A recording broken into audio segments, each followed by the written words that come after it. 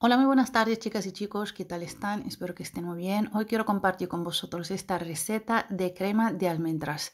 La he preparado para los desayunos, tiene solo dos ingredientes.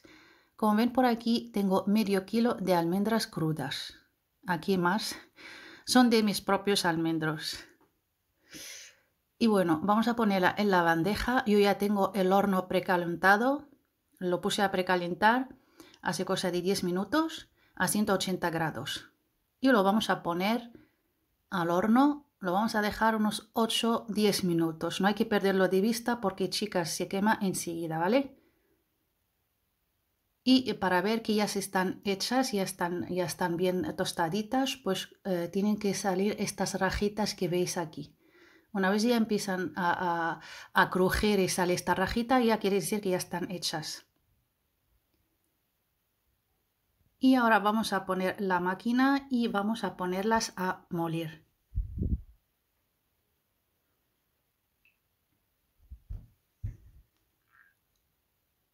Yo en este caso he añadido el medio kilo entero porque tengo la máquina potente y este, eh, eh, el cacharro es grande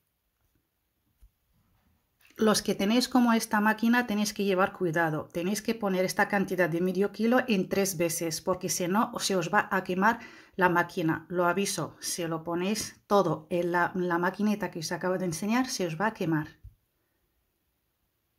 Y aquí como ven parece que no se está dando vuelta, pero ahora vais a ver que sí, se está girando. Conforme se va moliendo las almendras se van pegando a los laterales de, del cacharro, que no sé cómo se llama. Y lo que hacemos, pues vamos a ir, cada vez que vemos que este se ha pegado demasiado en los bordes, pues lo que vamos a hacer, coger una espátula y lo vamos a meter más al centro.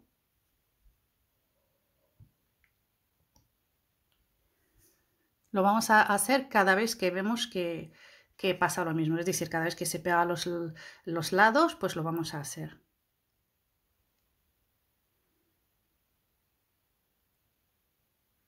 Aquí ya han pasado 8 minutos desde que metí las almendras en el cacharro. Estoy dando los minutos más o menos. Como ven ya está haciendo crema. Aquí ya han pasado total 12 minutos. Lo voy a quitar. Y aquí, ve la textura que tiene. Entonces aquí ya le voy a añadir el segundo ingrediente que vais a ver ahora, que es miel.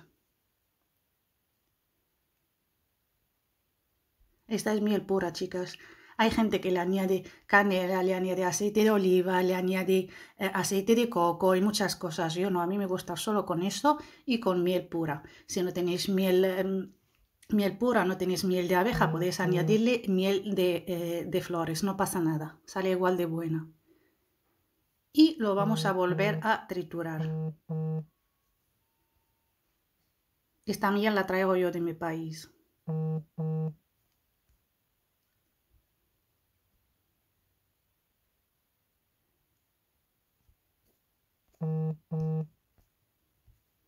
Y lo vamos a volver a triturar. Y ahora han pasado 4 minutos más, en total 16 minutos. Y ya tengo mi, mi, crema de almendras lista para ponerla en, en el bote. Como ven, la textura no es ni muy líquida ni muy densa, aunque luego a la hora de ponerla en el bote vais a ver como que está muy, muy grasosa por, por arriba, pero es solo la, la, impresión, o sea, no es tan grasosa. Y, a veces que te puedes soltar un poco de aceite pues de, del propio almendras, de la propia almendra. Mira qué, pinta más buena.